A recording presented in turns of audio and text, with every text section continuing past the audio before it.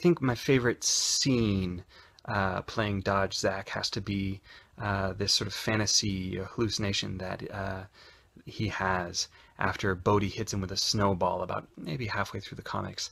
And in the comics, it's just this really brutal, savage riff that like comes out of nowhere and like it's very shocking. So it's really fun to see how we could do that uh, entirely with just sound.